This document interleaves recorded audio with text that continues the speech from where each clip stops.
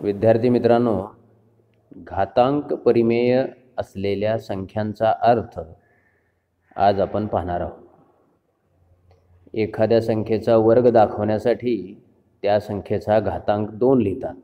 आता उदाहरणार्थ पाचचा वर्ग दाखवण्यासाठी आपण पाचच्या डोक्यावर उजव्या बाजूला दुसरा घात लिहितो पाचचा दुसरा घात असे डोक्यावर लिहितो.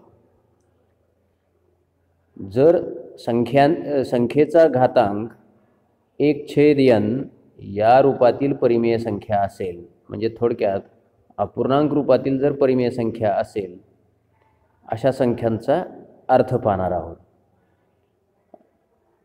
समजा संख्येचा घातांक एक छेद दोन आहे तर अशा संख्यांचा अर्थ म्हणजेच संख्यांचा घातांक एक छेद दोन एक छेद तीन कॉमा एक छेद पाच.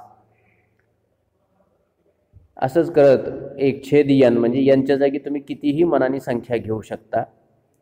अशा रूपातील परिमेय संख्या असतील तर. म्हणजे संख्येच्या डोक्यावर अशा प्रकारच्या अपूर्णांक म्हणजेच परिमेय संख्या असतील तर. आणि या सर्व संख्यांचा अंश जर नीट पाहिला तर तुम्हाला लक्षात येईल. एक छेद दोनचा अंश एक आहे. इथं एकशे तीनचा अंश एक आहे एकशे पाचचा अंश एक आहे. म्हणजे ह्या सर्व संख्या अशा प्रकारच्या आहेत की ज्याच्यामध्ये अंश हा एक आहे. तर अशा प्रकारच्या संख्या जर एखाद्या संख्येच्या एखाद्या संख्येचा घात असतील तर त्याचा अर्थ पहा.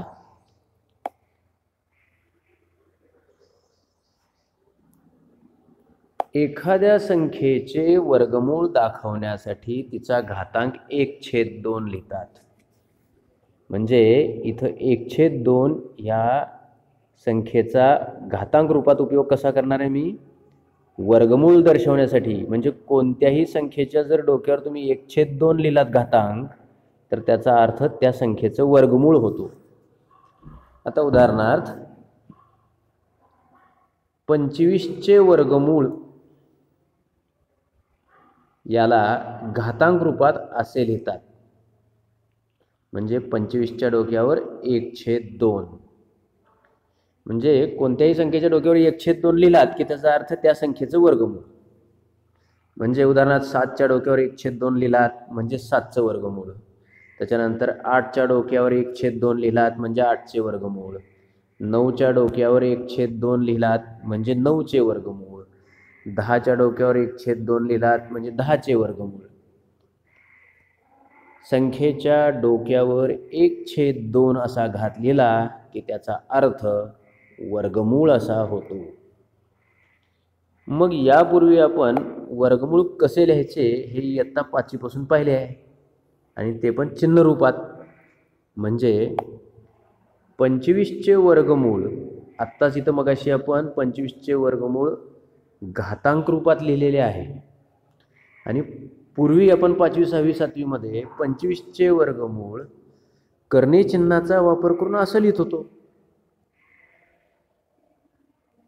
असलं जे चिन्ह असतं ह्याला आपण वर्गमूळ म्हणतो ना ह्याचं खरं नाव आहे करणी चिन्ह. हे वर्गमूळच आहे पण त्याचं खरं नाव करणी चिन्ह आहे. मग आता पंचवीसचे वर्गमूळ लिहिण्यासाठी दोन पद्धती झाल्या. कोणत्या कोणत्या? पंचवीसचे वर्गमूळ दाखवण्यासाठी किंवा लिहिण्यासाठी पंचवीसच्या डोक्यावर एक छेद दोन घात लिहिला. आणि दुसऱ्या प्रकारे म्हणजे पूर्वीप्रमाणे आपण वर्गमुळात पंचवीस असे लिहिले.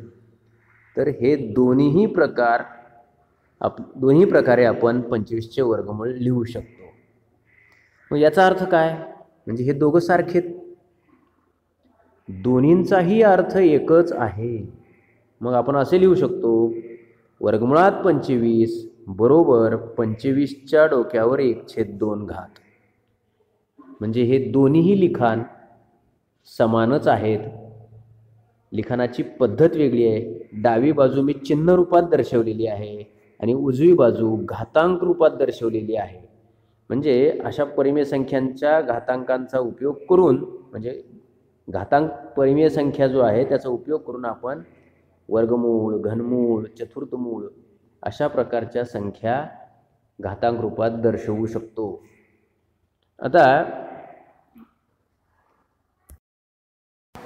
संख्येचा घात जर परिमेय संख्या असेल म्हणजेच अपूर्णांक संख्या असेल तर ती संख्या कर्णी रूपात कशी लिहितात? कर्णी संख्येच्या रूपात कशी किंवा कर्णी चिन्हाचा उपयोग करून कशी लिहितात ते आपण पाहणार आहोत. आणि या सर्व घातांकांचा अंश हा एक आहे एवढे लक्षात ठेवा. एचा एक छेद दोन घात म्हणजे ए हा पाया आहे आणि त्याचा घात एक छेद दोन आहे. तर ती घातांकित रूपातील संख्या कर्णी चिन्हाचा उपयोग करून आत्ताच आपण पाहिलं की या चिन्हाला कर्णी चिन्ह म्हणतात. तर त्याचा उपयोग करून आपण त्याला वर्गमुळात ये असे लिहिता येते. दुसरी संख्या पहा. संख्येचा घात म्हणजे एचा घात एकचे तीन असेल तर त्या संख्येला घनमुळात ये असे लिहिता येते. म्हणजे हा जो छेदस्थानचा अंक आहे तो इथं असा तीन असा लिहायचा कर्णीचन्नाच्या व्ही आकाराच्या भागामध्ये आणि कर्णी लिहायची आणि तो पायामध्ये लिहायचा. त्याला आपण घनमुळात ये असे म्हणतो. जर परिमेय संख्या म्हणजे एखाद्या संख्येचा घात एक छेद चार असेल म्हणजे येचा एक छेद चार तर तिला चतुर्थ मुळात ये असे लिहितात. एचा एक छेद पाच घात असेल. एचा एक छेद पाच असेल. तर हा पंचमुळात ये असे लिहितात किंवा त्याला पाचवे मूळ म्हणूया. पंचमुळात ये म्हणजे हा छेदस्थानी असलेला अंक या जागेत लिहा आणि पाया हा मध्ये लिहा. त्याला वाचा पंचमुळात ये असे वाचा.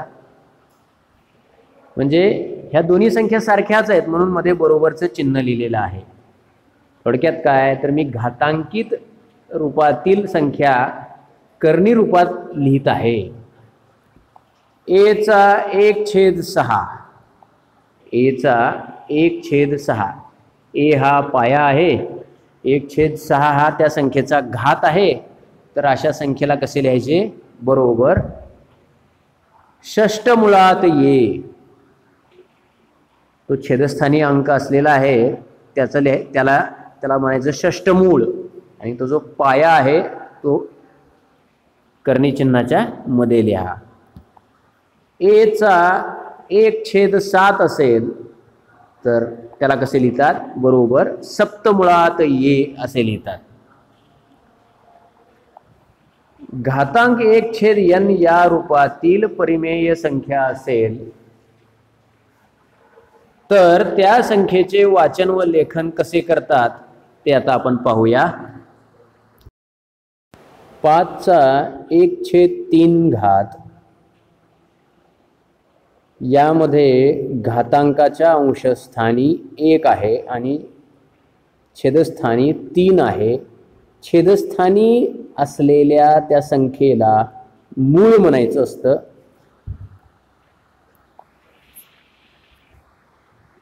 पाचचा एक छेद तीन घात. तर या संख्येला मूळ असे म्हणतात. छेदस्थानी लिहिलेल्या संख्येला मूळ असे म्हणतात. मग छेदस्थानी तीन अंक असला की घनमूळ छेदस्थानी चार अंक असला की चतुर्थ मूळ छेदस्थानी पाच अंक असला की पाचवं मूळ आणि या सगळ्यांच्या अंशस्थानी एकच असतो हे एवढं लक्षात ठेवा. पाचचा एक छेद तीन घात. पाचचा एक छेद तीन घात. बरोबर पाचचे तिसरे मूळ. पाचचे तिसरे मूळ म्हणजेच त्याला पाचचे घनमूळ असे सुद्धा म्हणतात. पुढचे उदाहरण चारचा एक छेद पाच घात. छेदस्थानची संख्या पहा आणि तेवढे मूळ म्हणा. छेदस्थानची संख्या पाच आहे. म्हणजेच चारचे पाचवे मूळ. चार हा पाया आहे त्या संख्येचे पाचवे मूळ. त्याच्यानंतर आहे सतराचा सतरा हा पाया आहे आणि त्याचा एक छेद आठ घात आहे.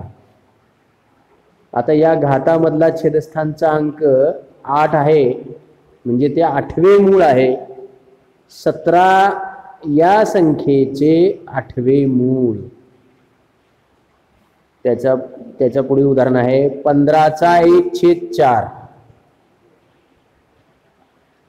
छेदस्थानी चार आहे म्हणजे ते चौथे मूळ आहे. पंधराचे चौथे मूळ. तर दिलेल्या घातांकित संख्यांचं वाचन आणि लेखन कसं करायचं ते आता आपण पाहिलेलं आहे.